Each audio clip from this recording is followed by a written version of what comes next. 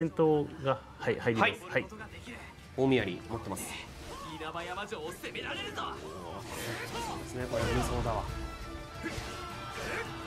でちょうどそうですね。砂間砂俣城一夜城が完成した後の、はい。ところですね。二手に。分かれて須俣城に向かえ。須俣城は間違いなくこの戦の要だ。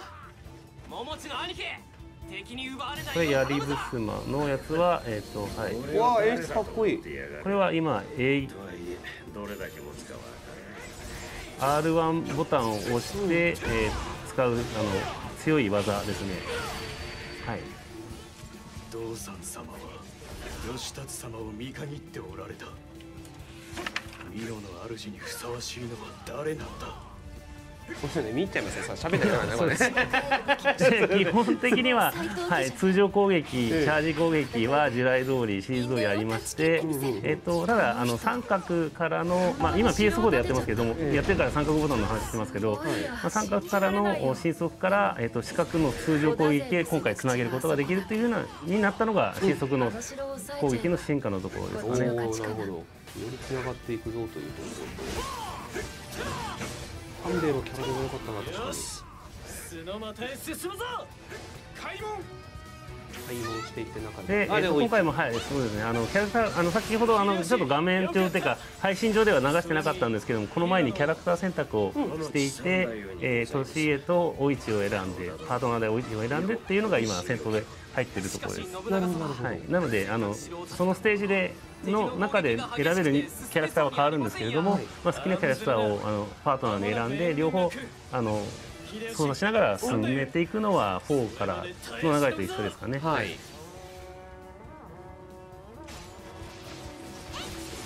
れは侵略ではないオイチは今回はそうですね。あの結構変わった武器で引き紙を使った、エフェクト派手ですね。まあ、折り紙がっていうところなんですけど。うん。もともと戦国シリーズはあの武器に何かしら和的な要素を入れようということで作ってきましたので、はい。まあ、ちょっとこういうあの楽しいやつをちょっと今見てるとねあのオーバーパワーなんじゃないかなっていうふうに思います。けどまあでも無双なんで気持ちよく、まあね。はい、やっていただきたいのとあと、まあ、今回ちょっとあのあの強くしてから持ち込んでますので、あーなるほどはい最初初期の頃はもう少し、はい、あのマイルドな感じおとなしめな感じです。はい。今ちょっと戦闘シーンが可愛くない感じですもんね。もう。でキャラクターデザインめちゃくちゃ可愛くなってますけどね、キねャラ見た目と違うなって言いたいな。いやそのギャップがいいんですギャップが。え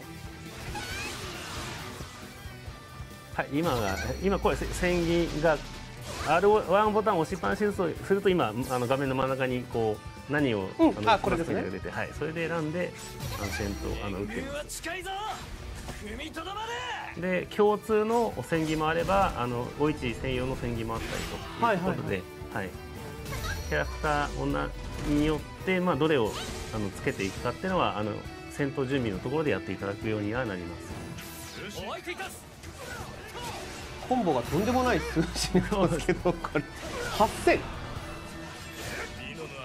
結構まだシステム的なところ詳細にはあの皆さんにお伝えしてないんですけども今ちょうどあの両画面の両端がこう光ってるのはあのすごい敵が強いエリアだよっていう表表現で、はい、このあの下の部分ですそうですね。はい。っていうのはこれもおシリーズ前回か前々回ぐらいから踏襲しているところは残してますね、はい。うん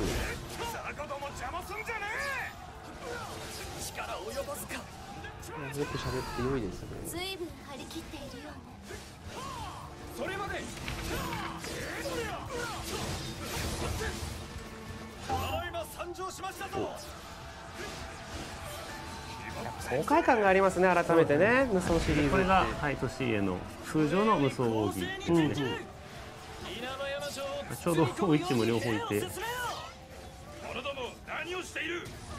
さっさと織田勢の進軍を止めねえか。でこれがお市の通常の無双奥義となります。これがですね。はい。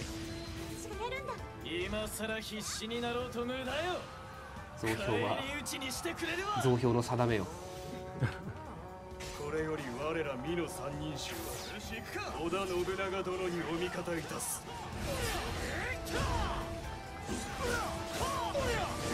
うわいいな。早くやりたいな。ちょうど防衛戦なので、うん。あのどうしても敵がこの面がすごく集まってきてひたすら叩いてるっていう 感じのシナリオにはなってます。黙らせに行くとしようか、いや本当にその墨絵のね表現とかっていう話もはい。冒頭ありましたけれども、一瞬一瞬ねそういうやっぱ表現があってこうなんでしょうくすぐられちゃいますね日本人として心がちょっとこの今回ははいちょっとビビジュアルには結構こだわりって作りましたので、うん。ここら辺はそうですね感じ取っていただけると嬉しいですね。はい。とてもかっこいい。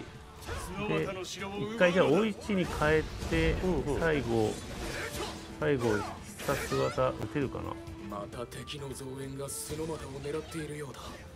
おお半兵衛殿の申された通り敵が迷い込んできた。わ押し潰せ